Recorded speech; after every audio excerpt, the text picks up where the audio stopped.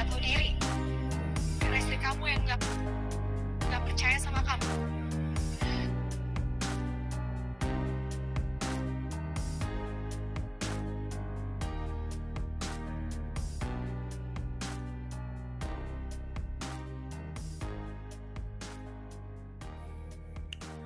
Halo sahabat semua para pecinta sinetron cinta setelah cinta Di mana pun anda berada Balik lagi bareng saya di channel kesayangan kalian Yang tentunya akan membahas kembali sebuah ulasan alur cerita sinetron cinta setelah cinta Yang tentunya semakin seru lagi untuk kita lihat. Dalam sebuah sinetron cinta setelah cinta untuk episode malam ini guys. Pada hari Selasa 18 April 2023 di mana kita pun di sini disuguhkan dengan alur yang sangat semakin tegang lagi karena mungkin di episode malam ini diceritakan tentang pertengkaran kembali antara Arya dan Starla yang kembali terjadi dalam rumah tangga pasangan Starla dan Arya guys. Arya pun di situ mengungkapkan keraguannya kepada Starla Arya juga takut jika nanti bayinya lahir Starla pun akan menceraikan dirinya. Starla memang benar-benar kaget mendengar perkataan Arya tersebut. Setelah apa yang telah Arya perbuat kepada Starla membuat hati Starla pun sangat begitu terluka ya guys. Karena di situ Starla pun sempat merasa terkejut ketika mendengar ucapan dan perkataan dari Arya ketika dirinya membuka aib bahwasanya dirinya akan segera bercerai bersama Starla. Dan tentu kata-kata ini membuat hati Starla pun semakin retak dan semakin rapuh. Dan Starla sendiri berpikir kalau selama ini perjuangannya dan pengorbanannya pun telah sia-sia. Akibat ulah perbuatan dirinya merasa di sini Starla pun merasa tidak dianggap oleh suami kesayangannya tersebut guys. Dan ini adalah suatu cuplikan di episode malam nanti dan kemudian kita pun selalu mendoakan agar supaya Arya dan di sini bisa menenangkan hatinya dan bisa menerima kembali Starla ya guys. Namun sebelum melanjut juga ke pembahasan dan ke alur videonya, bagi kalian yang baru saja bergabung dan menemukan channel ini, alangkah baiknya bantu channel ini dengan cara tekan tombol like, komen, dan subscribe.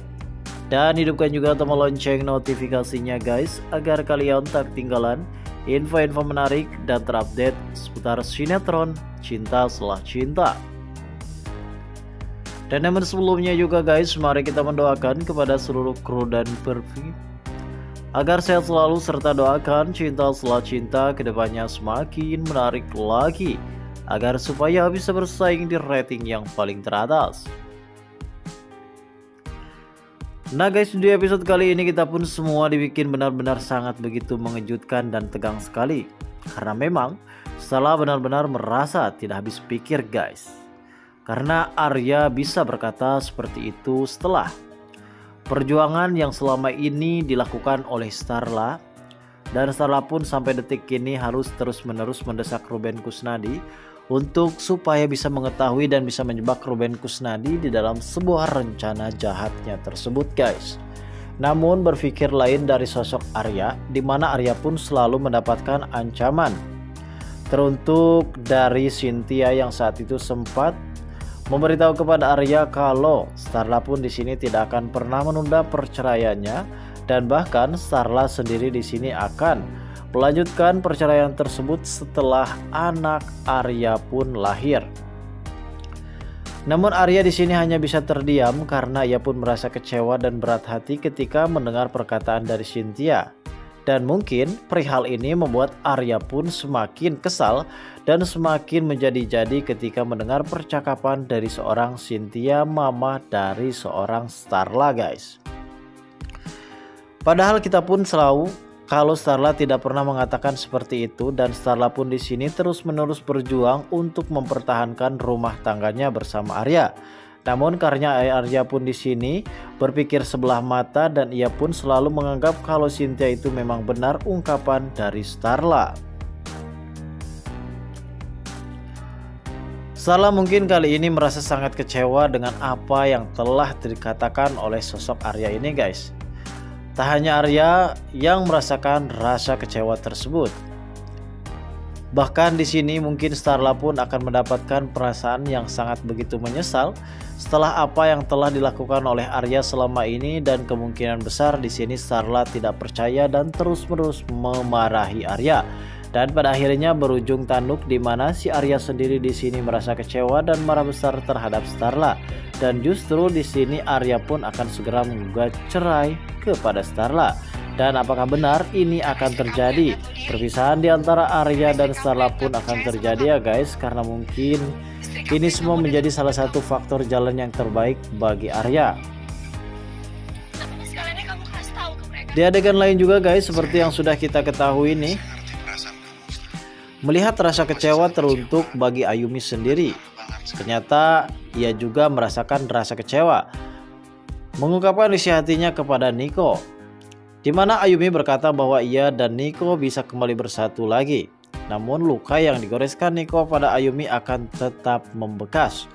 Lili ibarat peribahasa piring yang sudah pecah kemungkinan besar bisa disatukan namun rasa retak tersebut pun tidak akan pernah bisa kembali bersatu karena luka gores tersebut pun masih mengiang di dalam hati Ayumi. Dan tentu Niko pun di sini terus-menerus berjuang dan ia pun tidak akan pernah merasakan bersalah lagi terhadap Ayumi yang di mana kali ini Niko sendiri merasa menyesal telah apa yang telah terjadi kepada dirinya yang memang sampai detik ini Niko pun terus menerus untuk supaya bisa dekat lagi dengan Ayumi guys. Mungkin kedua belah pihak pasangan ini yang memang saat ini merasakan sakit hati dan kecewa setelah mereka pun mengalami hal-hal yang memang sangat begitu aneh ketika datang seorang pria ataupun wanita yang memang saat ini telah dekat kepada pasangan mereka teruntuk rumah tangga Starla dan Arya ketika ia pun tahu kalau Arya mempunyai saudara kembar yaitu Yuda di mana Yuda di sini telah diperintahkan oleh Ruben Kusnadi dan sepertinya Yuda sendiri di sini dihianati oleh Ruben Kusnadi dan Ruben Kusnadi pun mempunyai niat jahat untuk bisa menghabisi nyawa dari Yuda. Namun untungnya guys di situ Yuda pun sempat diselamatkan oleh pihak warga setempat yang telah menemukan dirinya.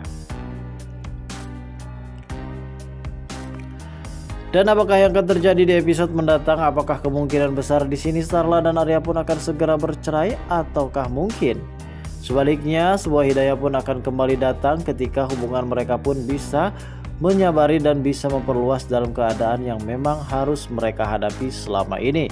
Dan kita pun selalu mendoakan bagi kalian para pecinta sinetron ini kita pun selalu mendoakan kepada Starla dan Arya bisa hubungannya romantis kembali ya guys. Kita doakan saja yang terbaik buat mereka. Dan kita tunggu saja kelanjutan ceritanya nanti malam. Terima kasih bagi kalian yang sudah menonton video ini. Dan bagi kalian yang baru saja bergabung dan menemukan channel ini silahkan subscribe karena subscribe itu gratis